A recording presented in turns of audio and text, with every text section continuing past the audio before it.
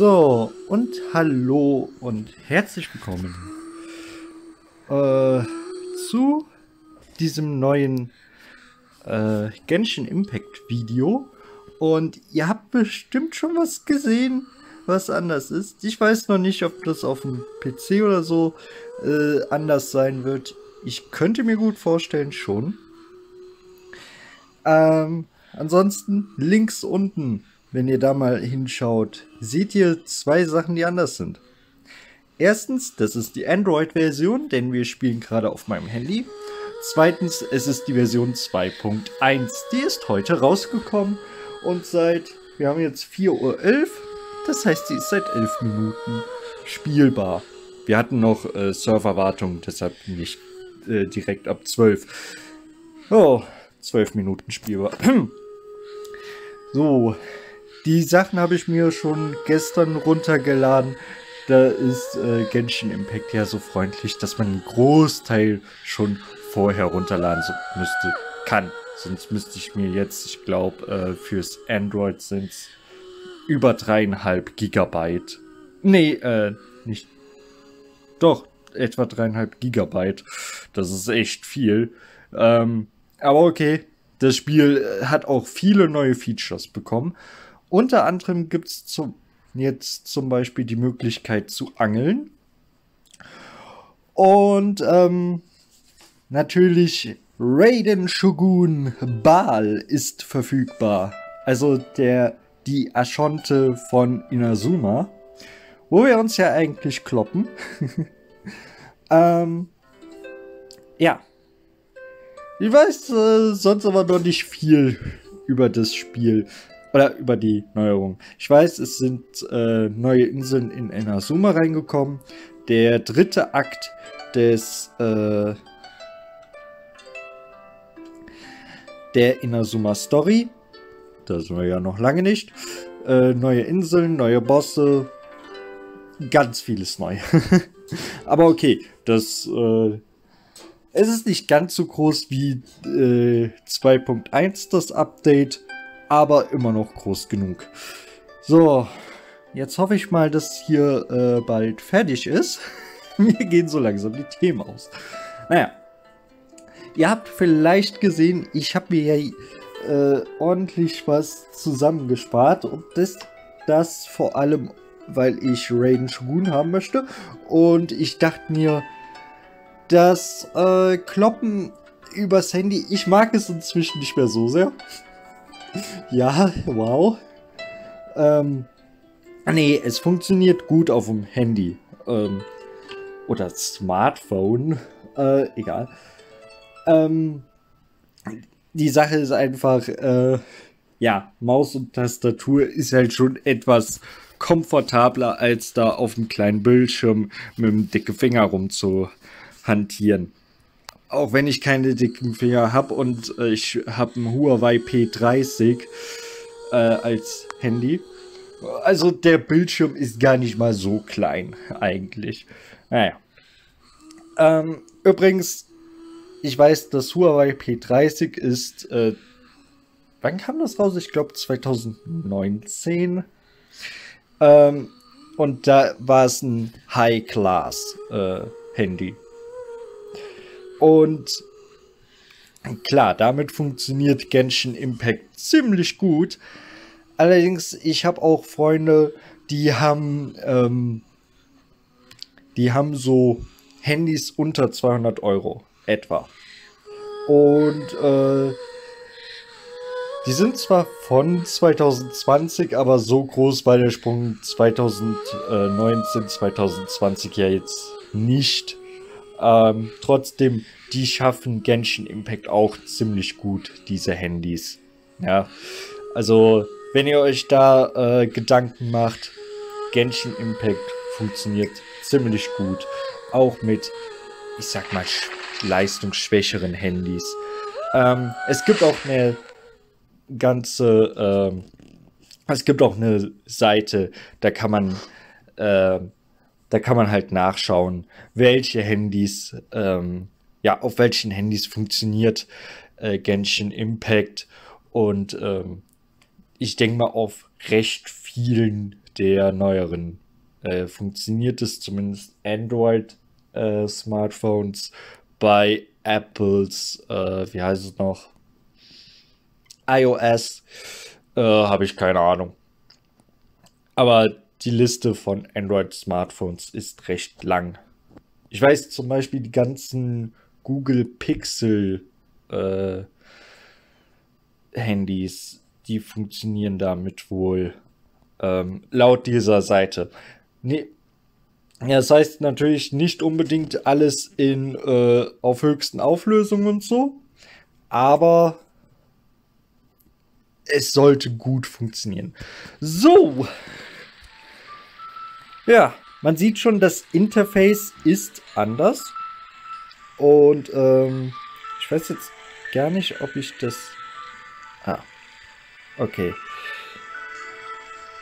Ja. Erstmal Paimon-Menü öffnen. Ankündigung. Und ja, das ist ein bisschen langsamer als auf dem PC, aber ja gut. Watatsumi und Sairai, neue Inseln im Gebiet von Inazuma. Neues System Angeln, neue Aktion Wolkenfetzen und Sternschnuppen. Melde dich während des Aktionszeitraums insgesamt sieben Tage im Spiel an, um verwobenes Schicksal zehnmal und andere Belohnungen zu erhalten. Okay. Mondlichtfreude. Nimm teil und erhalte die exklusive Aktionswaffe Zweihänder luxuriöser Seekönig. Neue Figuren. Shogun Raiden und ihre äh, untergebene Kuju Sara oder Krähenfeder Kaburaya, okay. Beide Elektro. Bald kommen Sangonomia Kokomi. Okay, kenne ich nicht. Aber natürlich Aloy. Ja, das ist ja schon länger bekannt, dass Aloy aus Horizon Zero Dawn äh, kommen wird. Beziehungsweise diese, diese Figur ist ja jetzt nicht bald verfügbar, sondern für die Leute, die auf PlayStation 4 oder 5 Genshin Impact spielen, jetzt schon. Wir andere müssen noch bis Oktober warten auf äh, Version 2.2. Dann kriegen wir sie auch kostenlos übrigens. Also sie kriegt man definitiv kostenlos. Ich vermute aber auch mal, dass ähm, es gibt in dem Spiel eine ähm, eine Mechanik, wenn man nach 90 Gebeten, äh, ich glaube zumindest beim Standardgebet, immer noch keinen 5-Sterne-Charakter bekommen hat, kriegt man äh, beim 90. Gebet definitiv einen 5-Sterne-Charakter, ja.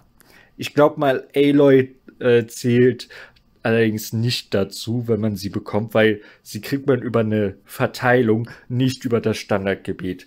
Ähm, außerdem, es würde dann halt diese Mechanik mit dem garantierten äh, Fünf-Sterne-Charakter komplett, ja, würde man es quasi komplett rausnehmen. So viel nur dazu. Neue Waffen, Stangenwaffe, Grasschnittstrahl und Katalysator ewiger Mondschein. Okay.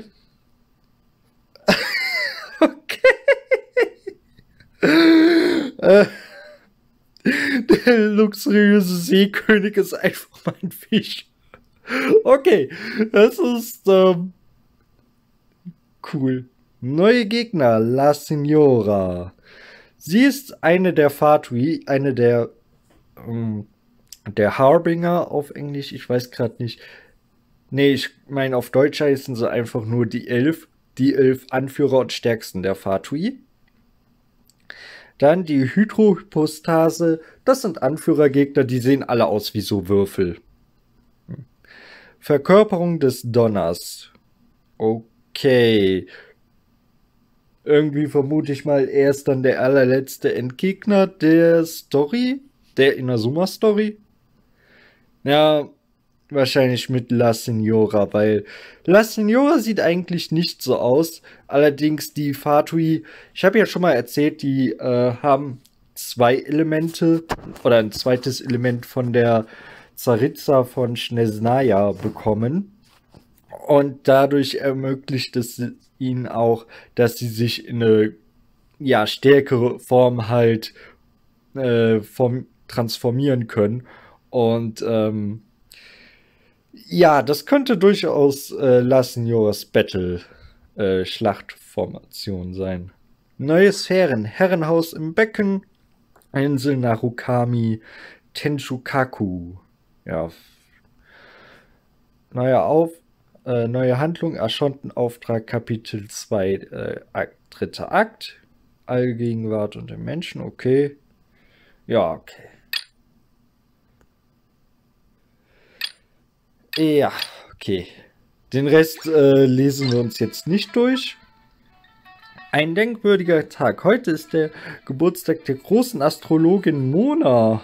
Oh, die habe ich nicht, aber die ist eine Waifu von meinem Kumpel, der, äh, ja, der mich halt dazu gebracht hat, hier das äh, Spiel zu spielen, ne? Er hat Mona übrigens auch. Und auch im Main-Team. Ähm, ich lasse euch hier jetzt einfach mal lesen.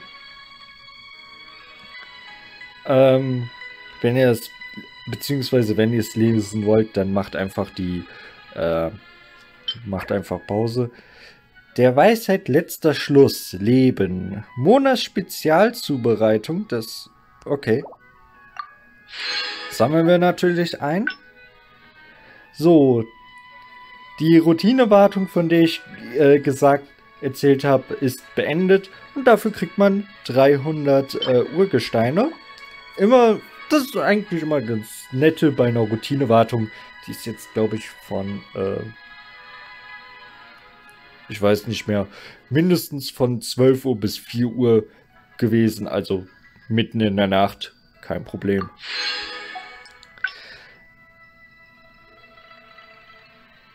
Okay.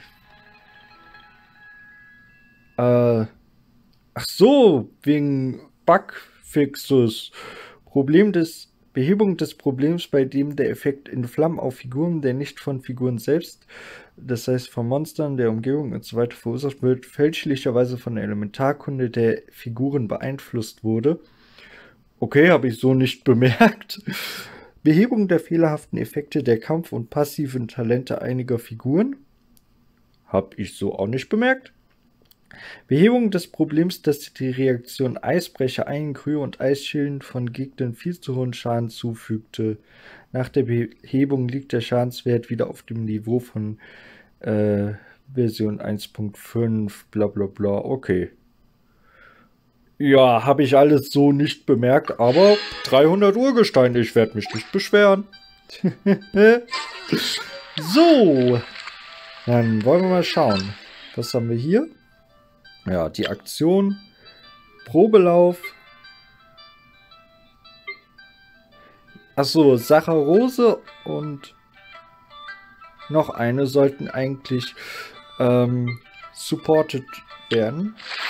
Oder ferner Donner, erklimme den zerbrochenen Amukamu-Gipfel und folge dem Schall des fernen Donners. Der gewaltige Donner blickt hoch im Himmel auf alle Lebewesen auf den Inseln hinunter und wirft ein dichtes Netz von rebellischen Stürmen. Okay. Ordentlich guter Stuff. Und was ist das? Sturmperlen, Material zur Verbesserung von Figuren. Okay.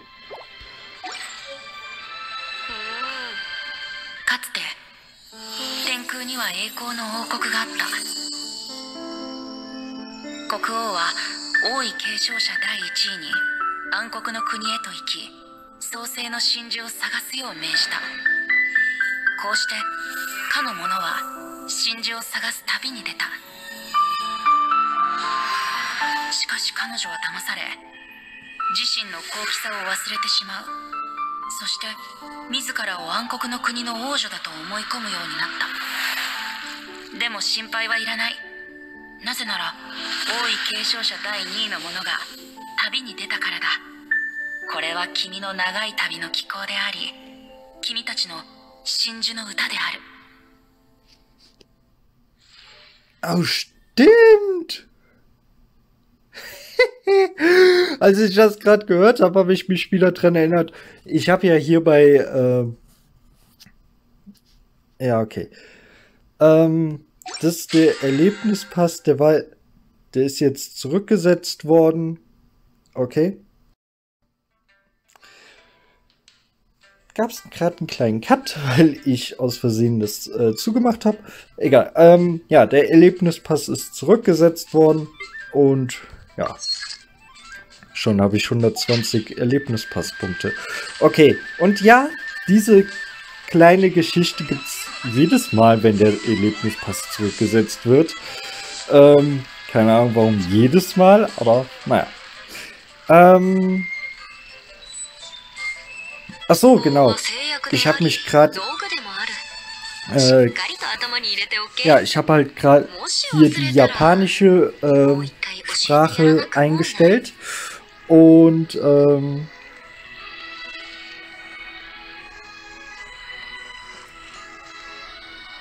Ach so, hier. Hui. Naja.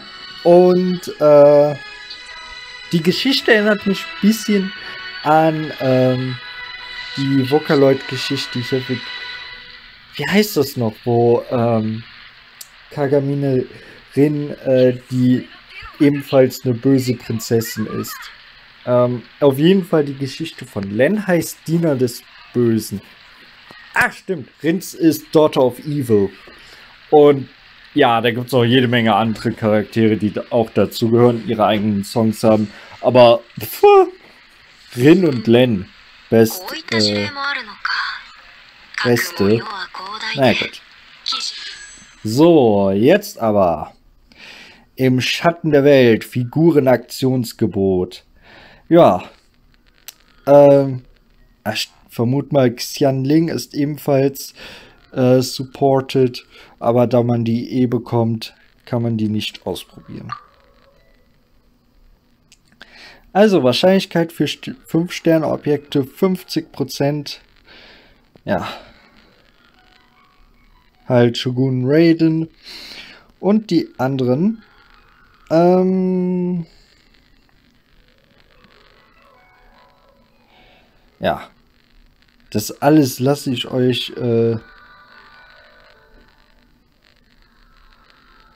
Ach, mein Junge. So. Genau.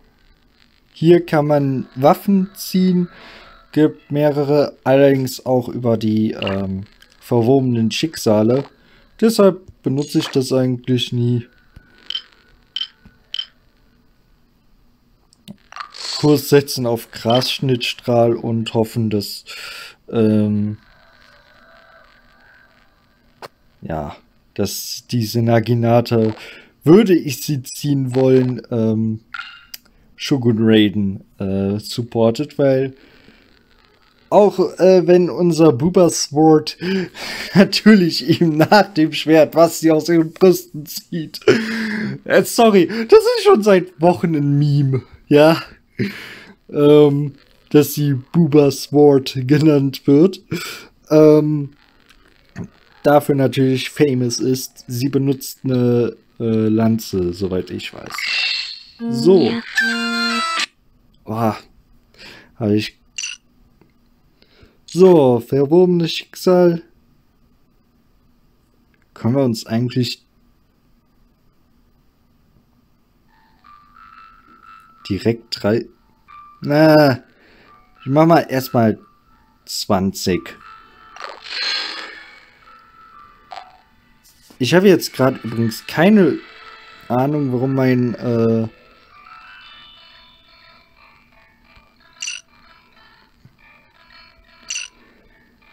Okay, na. Um 5 Uhr. Hm. Machen wir erstmal eine Zehnerziehung. Und wen haben wir denn da? Ich weiß übrigens nicht, warum das gerade so rauscht bei meinem äh, bei meinem Handy. Das hat Genshin Impact leider mal. So. Alte Scharschützen, Jadekugel, schwarze Quaste, Drachenblutschwert, Magieführer, noch ein Magieführer. Kühle Klinge, ja, ich gehe das bisschen einfach so durch, weil kühle, nee, Schwert der Dämmerung, Schwert der Dämmerung, Ein rostiger Bogen. Okay. Äh, Stu Stufe 4 Waffe, aber... Ja. Ich will einen äh, Charakter. Also, nochmal 10 Erziehung. Los! Flieg und Sieg und... Das ist jetzt ein Charakter. Okay. Geil. ähm, ich habe ja von Mona schon gesprochen. Jetzt habe ich sie auch. Cool. Freut mich. Ähm, ich würde sie jetzt gern teilen, aber ich habe nicht keine Lust, noch mehr zu schneiden als ohnehin schon. Außerdem, ach, dann sieht's mein Kumpel ja eh. So, sonst haben wir eine Gardekugel, Drachenblutschwert, Hell von hellen, von hellen Taten der Drachenbezwinger. Ich glaube, das habe ich gar nicht. Oh, egal. Rabenbogen. Okay. Habe ich auch noch nie gezogen. Schwert der Dämmerung. Schlagfestes Argument. Oh! Yay! Endlich! okay, hier raste ich einfach mal mehr aus als bei Mona. Obwohl Mona der. Okay. Mona ist mein erster 5-Sterne-Charakter, aber Rose ist mein erster Anemo-Charakter, der nicht der Reisende ist. Ja? das, ist, das ist geil. Okay. Richtig gute Ziehung, jetzt schon. Wen haben wir noch? Die Steinschleuder, okay. Okay. Cool. Das ist cool. Ja. Okay. Aber ich will raiden. Nicht nur meine Gegner, sondern auch Boober Blades.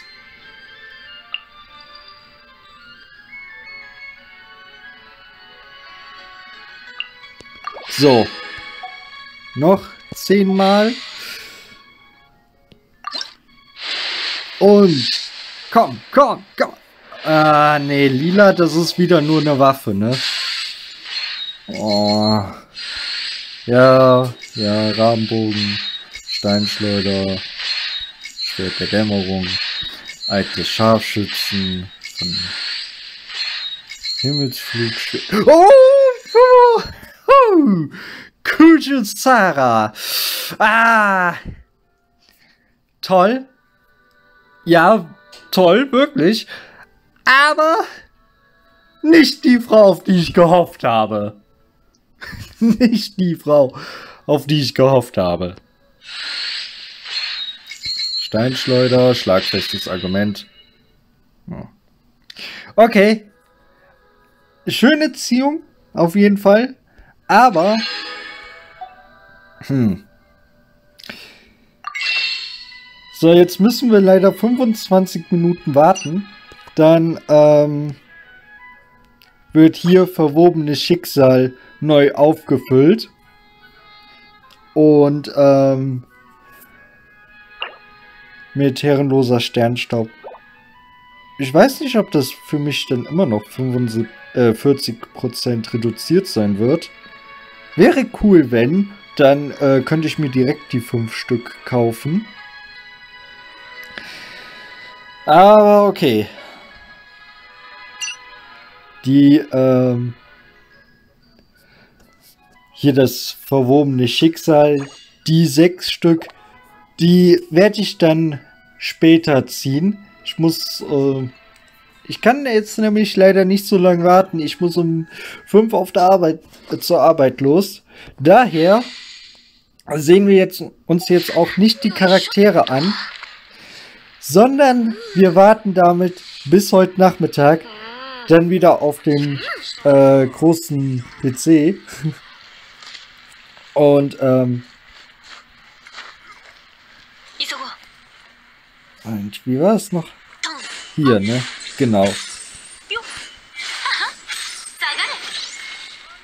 Damit ihr auch mal seht, wie man so trocken kämpft, ja.